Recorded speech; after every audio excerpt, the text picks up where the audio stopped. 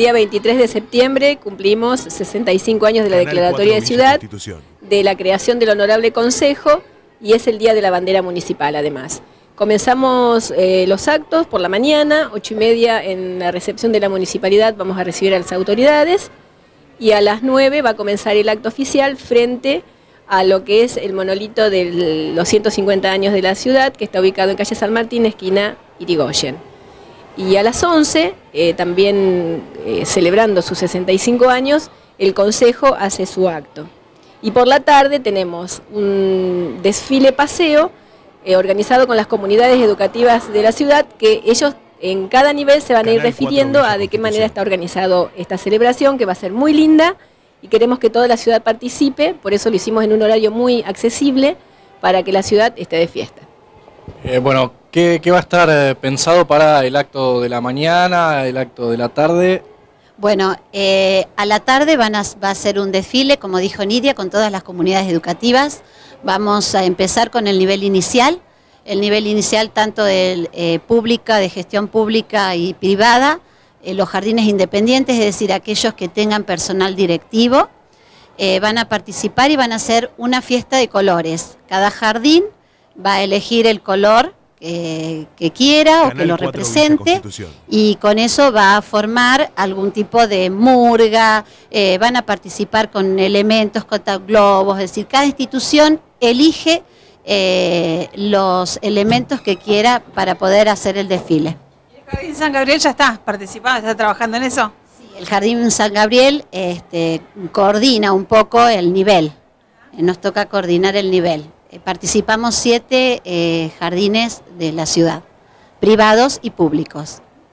Bueno, eh, ¿en qué consiste un poco por qué se eligen los colores? ¿Ya lo tienen más o menos designados? Bueno, con respecto a los colores, es únicamente, como dijo la compañera, es para nivel inicial. esto es una movilización que realmente abarca todos los niveles y modalidades.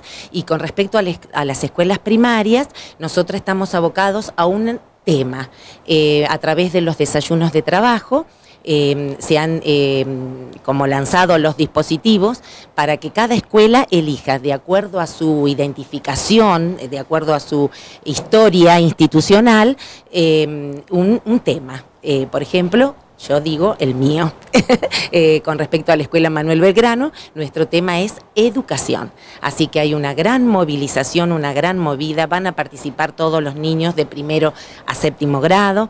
Em, y comienza este desfile y esta murga, como lo dijeron las compañeras, con alegría, con color, eh, con brillo, em, con la Escuela Berta Guzmán, ¿eh? que ellos van a encabezar con una rica murga con integrada por eh, los alumnos de la institución.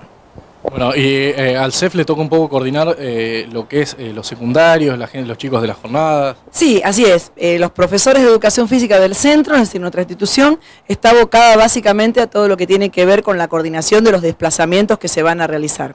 El todo el desfile va a comenzar desde calle Salta, por calle San Martín, eh, bueno, en el orden que fueron explicando mis compañeras, la batucada de la Escuela Berta Guzmán, los jardines de infantes, eh, luego las escuelas primarias con las distintas temáticas y también se van a articular las escuelas secundarias eh, con, que participaron en las jornadas. Así que va a ser un movimiento bastante interesante, va a estar musicalizado, también se va a explicar brevemente cuando pasen este, por la municipalidad, eh, las de escuelas van a explicar brevemente por qué eligieron esa temática, como explicaba Lili, que los identificó. Es decir, que bueno, la verdad que va a ser una fiesta eh, muy, muy, muy importante, ¿sí? Eh, ¿Cómo va a ser el, recorrido del, desfile? vamos a partir de calle Salta, vamos a estar todos concentrados y van a desfilar por calle San Martín hasta calle Entre Ríos. Las temáticas van a estar eh, identificadas por estandartes que los van a llevar los alumnos del profesorado de, educación física, eh, como para que las personas, todas las personas que estén este, viendo este desfile puedan entender, ¿no es cierto?, de qué se trata y a qué se refiere esa temática que, que eligieron. También pueden participar las familias de los alumnos, es bastante abierta la participación. Por último, agradecimientos. Agradecimiento eh, primero a toda la, comunidad educativa del C que se prestó para colaborar en, la organización, déjame aclarar que ese mismo día en el Consejo va a ser una mención al Centro de Educación Física por los 65 años, igualmente como la ciudad, 65 años de su creación. invitamos a toda la comunidad educativa y a toda la comunidad de Villa para que pueda participar del desfile. Y déjame aclarar aparte que un reconocimiento especial a, la escuela Berta Guzmán, a la escuela 2046, que va a participar con una batucada que la están haciendo muy linda.